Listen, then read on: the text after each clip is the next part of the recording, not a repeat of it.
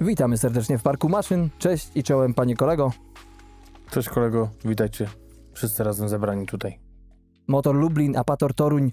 Mm, Rok sobie poczekali kibice na mm, pojedynek obu drużyn. W 2019 roku była to sześciowa sześcioma punktami wygrana motoru Lublin w stosunku 48 do 42. Oczywiście świetny mecz Jacka Holdera w druży- drużynie przyjezdnej. Robert Lambert zdobył 5 punktów, ale dla Lublina.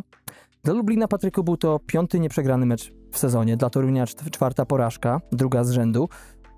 Wcześniej z Wrocławiem taki sam wynik padł na niekorzyść Torunia. W Lesznie było bardziej na styku i moje pytanie jest takie, jak daleko jest tym obu zespołom, Lublinowi i Toruniowi, do siebie? Czy blisko, jeśli chodzi o prezentowany poziom i czy wynik to twoim zdaniem odzwierciedla? No, Motor Lublin pokazuje, że jest y, materiałem na mistrza. I moim zdaniem to No już tak? Się... Tak, tak? Już Oficjalnie, teraz, tak? dobrze, oficjalnie. Tak, już teraz oficjalnie. A, a Pator pokazuje, że no, do pięt im sięga no teraz do Zielona Góra, bo tak naprawdę Oj, oj, Czyli- oj, oj, oj. Czy GKM Grudziądz od to, początku. to...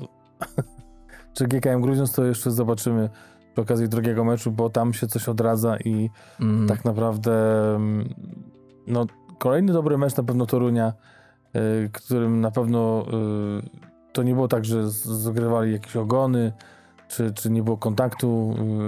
y, 12 punktów różnicy. Mm. Troszeczkę wydaje się, że jednak nie, nie oddaje tego, e, tego tej, może nie przepaści, ale tej dużej różnicy między nimi, między tymi zespołami, bo jednak były tam dwie wpadki, można powiedzieć, takie losowe, gdzie, gdzie Toruniowi się tego mm, to nie przytrafiało, ale e, To już jednakowo... po prostu nie chciało im się wtedy. Dwana, tak, ale 12 punktów to myślę, że sobie Motor Lublin y, spokojnie może zaliczyć jako mecz udany.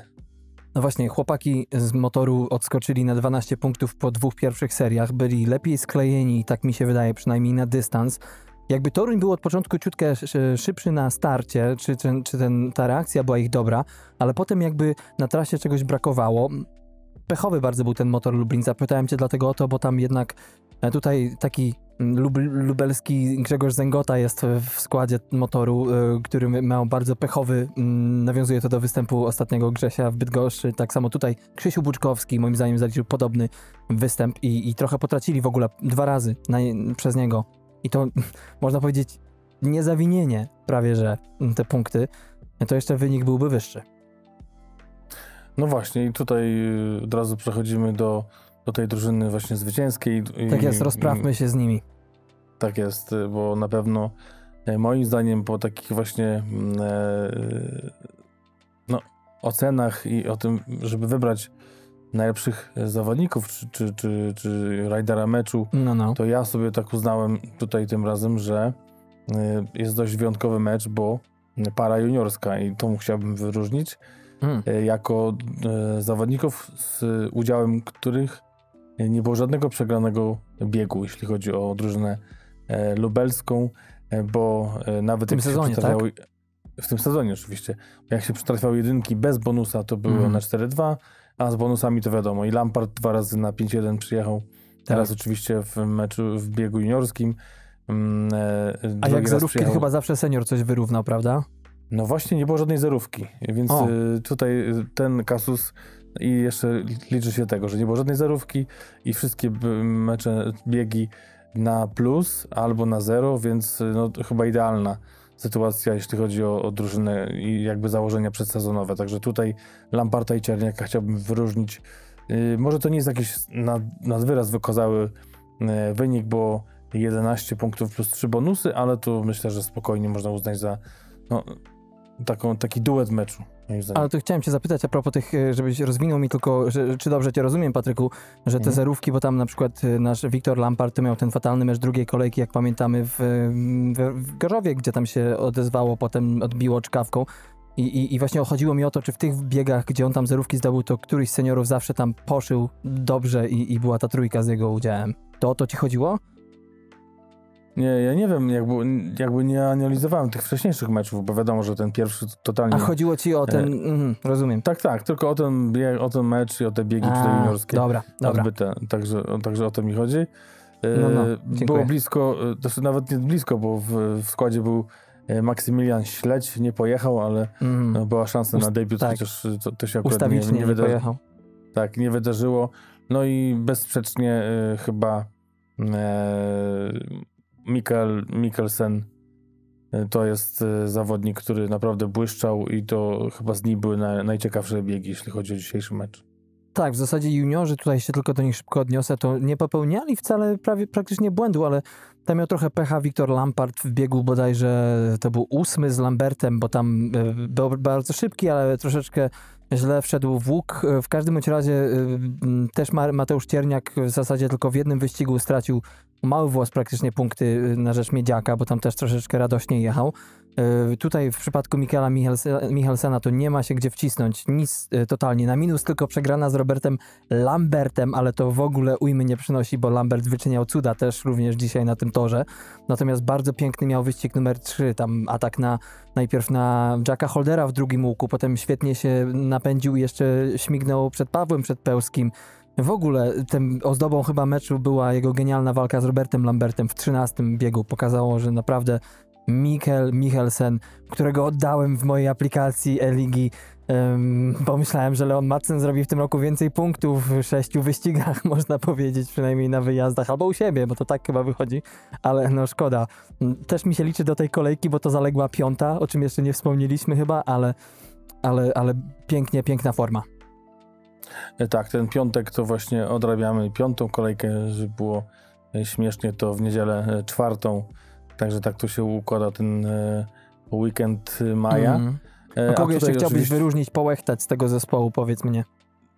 No jak nic, trzeba tutaj wyróżnić, myślę, Grigorio Łagutę za właśnie No tą, tą, fajną, tą fajną grę parami, grę w pary z Krzysztofem Buczkowskim. No szkoda, że nie wyszło, że ten defekt, chociaż A. tutaj też Krzysia trzeba oczywiście mm, pochwalić za to, że dojechał, dopchał tą, tą swoją kobyłkę e, Tak, bez tak, tych tak. e, tylnych racic już. Tak naprawdę Chociaż podobno na... za bonusy teraz płacą, nieważne czy ktoś nie dojedzie. Ja tak Aha, no- wyjeździe ktoś powiedział. Aha, no ale to zakładam, że pewnie zależy od prezesa. Aha. E, Ale, ale fakt, faktem na tym flaku dojechał, przejechał tą e, linię mety, więc e, może on tego nie wie, akurat tego, a, tylko ty wiesz. No być może tak jest. E, A oprócz tego, no, trzy pierwsze biegi wydawało się, że on jest nawet lepszy niż Mikkelsen, e, bo był niedociągniony, jeśli chodzi o Łagutę. Tak. A potem dwójka, jedynka, no ale to też ujmy nie przyjmuje, nie, nie, nie, nie, daje Przenosi żadnej, no no. nie przynosi, nie wynosi, i nie zawozi. Dokładnie. Bo 12 punktów w 5 startach, yy, to tu chcieć więcej. No, para liderów, chociaż w ostatnim wywiadzie Mikkelsen mówi, że on no, to nie czuje się do końca liderem, bo właśnie czuje, Mhm. że jest drużyna wyrównana i e, tutaj właśnie każdy może super pojechać i każdy e, gdzieś tam może uratować y, resztę chłopaków. E, Ale dzisiaj było tak, że, że faktycznie no, 14 punktów to chyba też jego rekord w tym sezonie. Tak jest. Jeśli chodzi o Jarosława Hampela, natomiast to taki trochę też go oddałem w menadżerze i chociaż do tej kolejki też mi się liczy, więc 8 punktów zawsze przyjmę z otwartymi ramionami rękoma i czymkolwiek jeszcze tam, ale no rozkręcał się nas, nasz Jarek Hampel tak po hampelowsku można powiedzieć. 0, 1, 2, 3 i potem dwójeczka na koniec, ta jedynka z bonusem. Mądrze jeździł, ale widać, że brakowało w jego sprzęcie prędkości, tak mi się wydaje, bo na przykład w tym biegu 12 bardzo mądrze jechał, defensywnie, przez długi czas nie umiał uciec przed Pełskiemu i to chyba wychodziło właśnie, nie wiem czy brak sklejenia, czy po prostu ten motocykl, tak mi się wydaje, że to dopasowanie, nie? E, No i trochę błędów popełnił jednak mimo wszystko w tym meczu, e, kiedy Miedziak go w pierwszym wyścigu śmignął i, i tro, trochę psuje jednak e, i ten bieg dziesiąty jego, mm, psuje trochę jego ocenę. No właśnie dla mnie tutaj kompletna słabość tego motocykla. Nie wiem, tak, tak to wyglądało, że ten bieg, którym wygrał, y, Mm. to, y, to tu, tutaj jakoś Jest tam dał radę. męczył, nie? Tak, i właśnie ten, ten y, jego trzeci występ, kiedy właśnie e, został minięty ostatecznie, to wydawało się, że właśnie genialnie to technicznie rozgrywa i ten, ten swój spryt starego lisa wykorzystuje aż do momentu, no, kiedy już się nie dało, bo No, no. Wydaje się, że ten zawodnik, którego gonił, to był trzy razy szybszy i tak cudem było, że do tego czasu jeszcze się utrzymywał na tym prowadzeniu, więc myślę, że 8 punktów plus 1 to naprawdę przy tym, no właśnie, może to było dopasowanie, może to właśnie coś z motocyklami, z silnikiem, ale przy tej dyspozycji sprzętowej to naprawdę mm. jest mhm. porządny wynik, także tutaj myślę, no że, że taktycznie, taktycznie tak nie było najgorzej. To, to prawda, że tutaj umiejętności jednak wzięły górę i, i obronił się punktowo Jarek dzięki temu. E, szkoda mi bardzo dwóch zawodników. Przede wszystkim szkoda mi Krzyśka Buczkowskiego, który po można by powiedzieć, że ta pierwsza trójka, którą przywiózł w tym meczu, to była, no nie że za darmo, ale to nie było jakieś wymierne, bo wiadomo, yy, nie był jakiś mocno obsadzony, przepraszam, bieg. Natomiast Chris, Chris tak, który, no, który dzisiaj nie startował, ale w siódmym był już powiem, Jack, tak. który oczywiście też nie miał tego mocnego startu. On wszedł też niejako w ten mecz ale tam bronił się od startu do mety, był bardzo szybki, ta pana nieszczęsna, mhm. która mu się przytrafiła. Potem Właśnie, jakbyś skomentował to, Patryku, bo w biegu 13 wykluczenie, moim zdaniem, tam mu po prostu wszedł Michelsen za dużo. Ja, pojechał tak, jakby nie jechał, jakby jechał na dwóch zawodników trochę przeciwnych i on był szybszy oczywiście od Krzyśka, ale nie miał już gdzie tam pojechać i ten, z urzędu ten wypadek wyszedł. Przede wszystkim jedna rzecz. Moim zdaniem żadna kamera z tych, które pokazywały powtórki, nie pokazywało jednoznacznie, że tam był jakiś kontakt. Żadna nie, z tych powtórek. Mi nie wydaje się, że było nawet, wiesz? Tak. A oczywiście komentatorzy powtarzali co chwilę od chyba drugiego ujęcia, że o, tam, tam go dziabnął. Tak. E, także y, moim zdaniem tak naprawdę to powinni być obydwoje wykluczeni, bo obydwoje się wywrócili, tak, bez żadnego kontaktu. Nie, rozumiem, no masz rację, bo to jest taka sytuacja sporna, że trzeba w końcu to w, tym wzruszyć, nie? Tak, i oczywiście, o, nikt się nie, nie dziwi, że, że, że, że, że Buczkowski jest wykluczony, a moim zdaniem właśnie powinni się dziwić, bo kto mi pokaże teraz i da mm. sobie rękę uciąć i być niesymetryczny, po tym zdarzeniu, że faktycznie tam był jakiś kontakt, także tutaj się nie tak, zgadzam. Tak, tak. E, I, I szkoda tego wykluczenia, także naprawdę ten Krzysiu naprawdę mógł przynajmniej jeszcze cztery punkty i naprawdę ładny wynik zrobić, bardzo podobny do tego e, z Grudziąca z zeszłego tygodnia. Otóż to. No i jeszcze Dominik Kubera nam został, jeśli chodzi o zespół lubelski. Oj, strasznie pod górkę ma w tym sezonie. Tak naprawdę na plus tylko jeden bieg, bieg piąty, bo tam niezły start, nie dał rady Pawłowi przed Pełskiemu, ale nie, nie było tam źle, choć brakowało prędkości mimo wszystko. A potem ten defekt sprzęgła, ja nie wiem, czy wprowadzić w ogóle, bo to trochę mnie męczy. W sensie, wiesz, to, to tak jak w tej piłce nożnej z tym warem, że przecież te dziwne decyzje piłkarskie powodowały, że jeden zespół przegrywał mecz o miliony tak naprawdę i, i, i, i to była wielka chryja moim zdaniem dla tych, którzy łożą na to. Tak samo tutaj można powiedzieć, łożą na, ten, na te zespoły y, ciężkie pieniądze w czasach covidowych i nagle okazuje się, że nie ma tego drugiego motocyklu z urzędu podstawionego, że on jest zatankowany nawet jak wiesz, że nawet nie ma opony czy koła założonego, nie? To już oczywiście żartuję, ale to mnie strasznie frustruje w tym roku.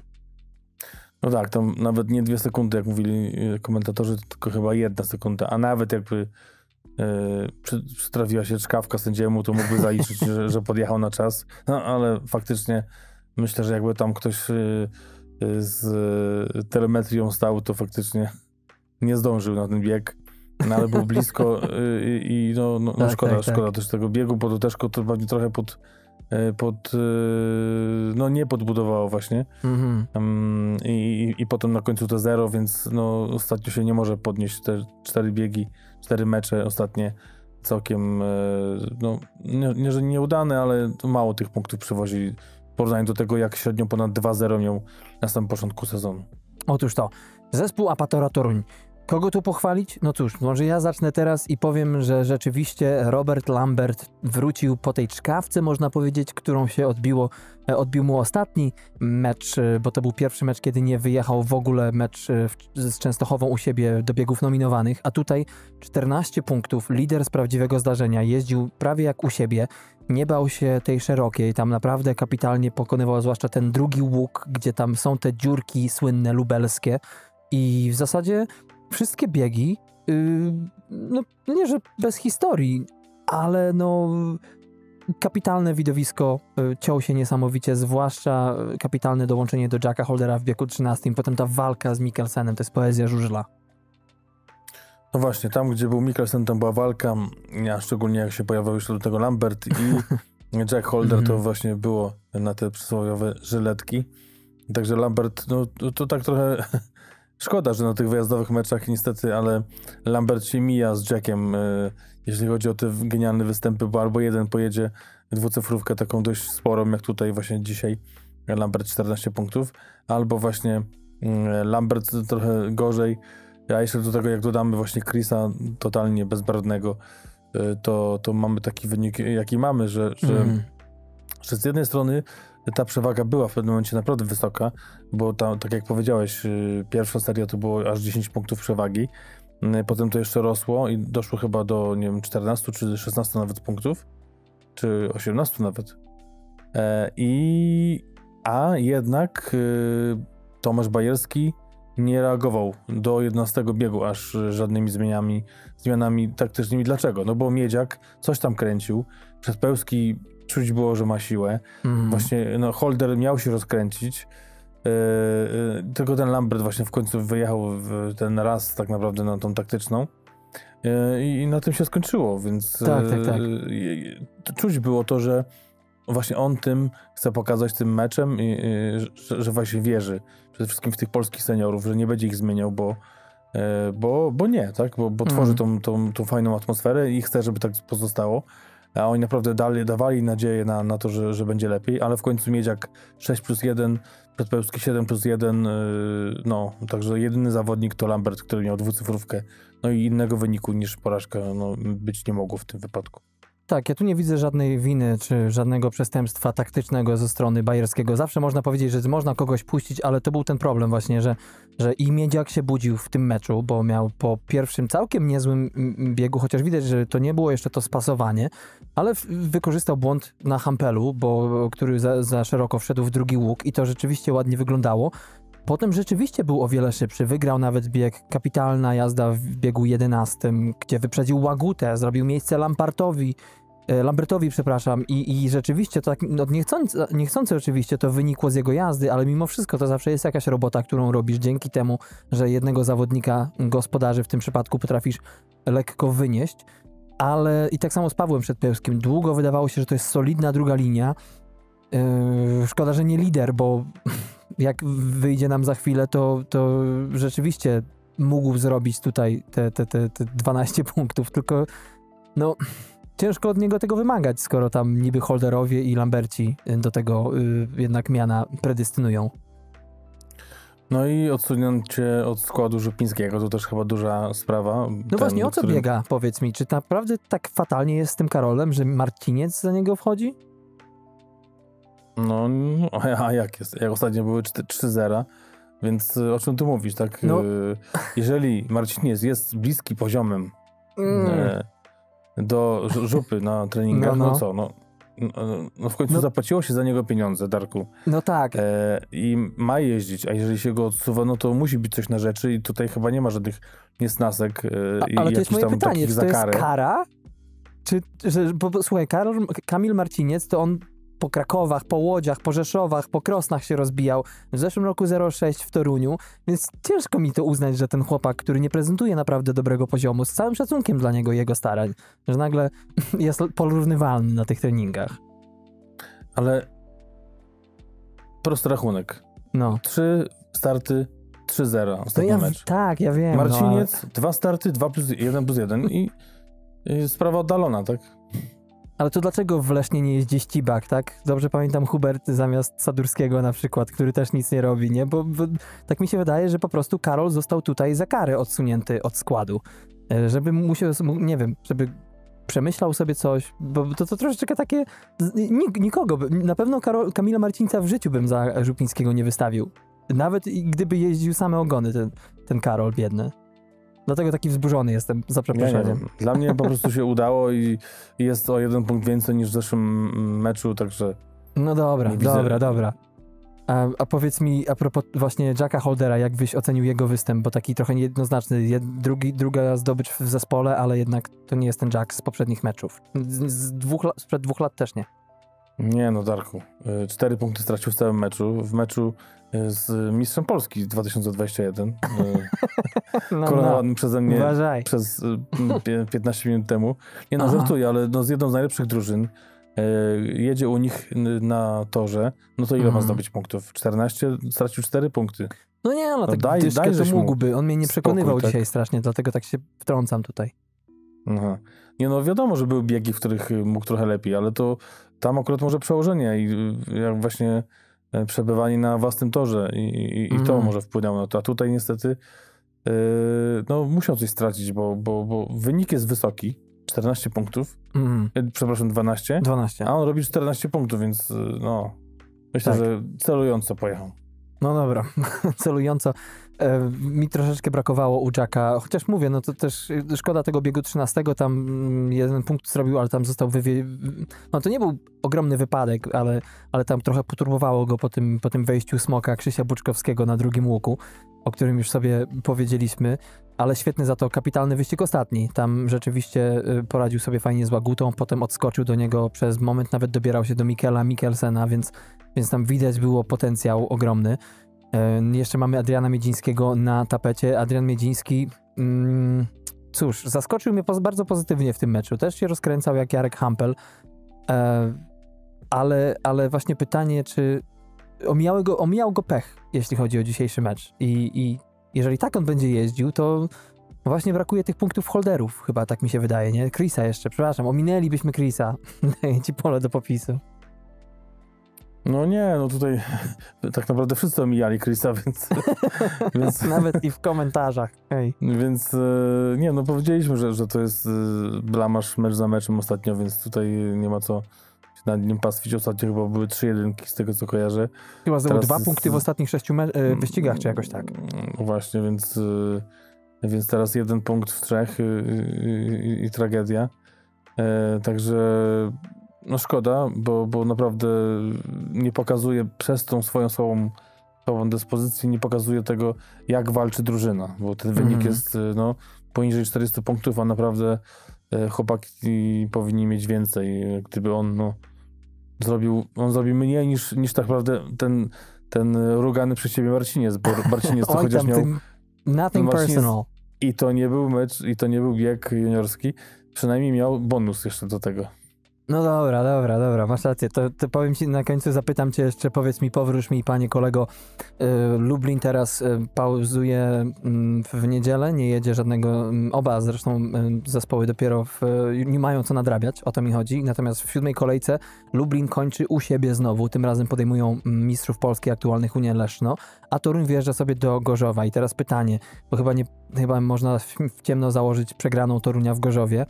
E, Jak, e, moje pytania są dwa. Jak widzisz mecz w Lublina z Lesznem i po tej przegranej, jak ten Toruń będzie się wpisywał w to, co tam mu rozrysowałeś, e, przynajmniej w tej rundzie zasadniczej przed sezonem? No, motor wygrywa 48-42, Okej. e, a, mm, a Pator no, podkręconym już i, takim ch- chcącym zmazać to, co się ostatnio dzieje, tą plamę na honorze Chrisem, Mhm. bo on musi się w końcu odrodzić, myślę, to tam e, pokaże, że, że jednak e, to jeszcze nie koniec Chrisa, e, Mhm. byłego mistrza świata i tam będzie też jakieś 52-38. Mm, Chociaż, no, myślę, że Pytanie po moje- większej walce reszty. Jest takie, czy ten Toruń po tej przegranej w Gorzowie nadal będzie twoim zdaniem właśnie, nie no, oni, to będzie piąte, może jeszcze miejsce będzie. Nie no, oczywiście, bo, bo jakby Okej. moim zdaniem dalej się klimat trzyma i tutaj jakby te morale nie, nie, nie spada, bo Mhm. też zakładana myślę, że była porażka, Y, ale no co, dalej wiedzą, że mają tą przewagę nad y, Zieloną Górą i Gorzowem i, i przepraszam, Grudziądzem cały czas, więc Mhm. y, co, jedziemy dalej, tak? Zdobywamy punkty, a No może będzie coś więcej. Dobrze, kupuję twoje tłumaczenie w takim razie. Długie, ale kupuję. E, Kochani, to tyle na dzisiaj, jeśli chodzi o mecz. Przypominamy jeszcze raz, Motor Lublin, który podejmował Apator Toruń, zwyciężył toruńskie pierniki w stosunku 51 do 39. Kłaniamy się nisko, polecamy się na przyszłość. Do usłyszenia i zobaczenia w kolejnym odcinku. Trzymajcie się, hej!